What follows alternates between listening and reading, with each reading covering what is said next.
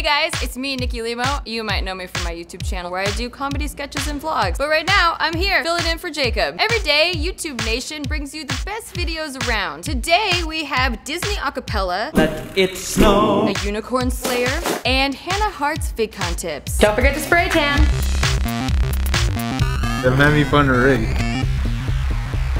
Last March, a film student at the University of Texas in Austin racked up over 30 million views by singing the story of what happens to Disney's princesses after Ever After. Well, guess what? Jon Cozart's back. He just released this sequel, and it already has over a million views since Tuesday. We're going green by spilling red. And if you're not dead, I built a horde of evil snowmen. Each part is filmed in a single take, which is nuts considering how spot on the harmonies are, and this guy is only 22 years old. Princess Leia better watch her back.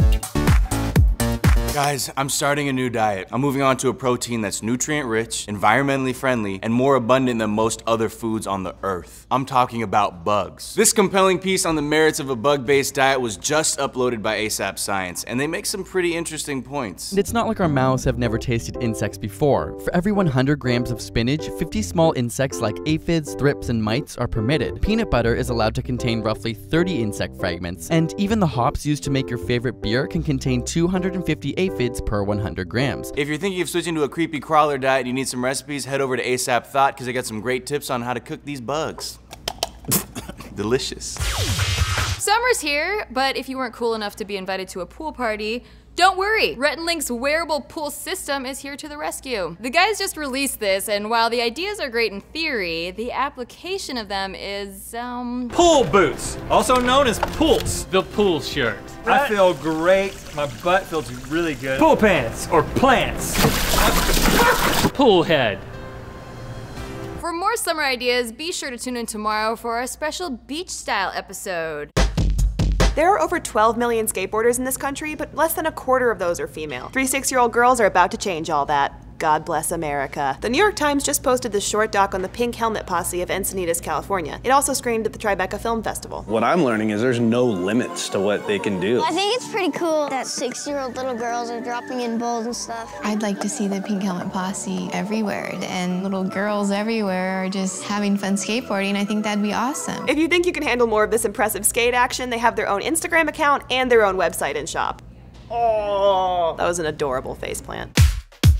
I love VidCon. It is like spring break, but with less wet t-shirt contests and more socially awkward YouTubers. And it's happening right now! But if you're a first timer, you might want to listen closely to Hannah Hart. Tip number one, have a great time. Tip number two, have a great time. Tip number next, stay hydrated. You guys are gonna get really thirsty from all the screaming and the chasing that's going on. And now I'd like to stress the most important element of VidCon. Deodorant, deodorant, deodorant! Jacob is there right now, and tomorrow we're posting a special VidCon episode featuring some of your favorite YouTube creators. Carly also put together a playlist of VidCon moments to get you ready for the big weekend. I will see you there. If you see me, you better say hi or I will feel lonely.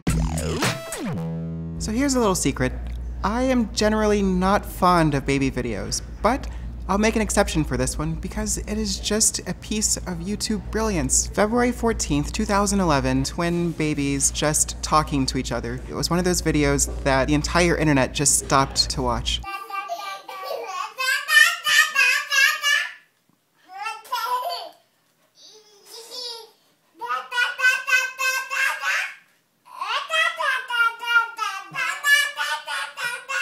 The video spawned a number of parodies, including one from College Humor, and Patton Oswalt even got in a diaper to recreate this video. This video just hit 100 million views. Very few videos ever reached that mark, and these two little kids did it. You got a favorite video from the past? Leave it in the comments with the hashtag Throwback Thursday. Every Saturday, this show is devoted to one subject, and this week it's awesome POV videos like this one.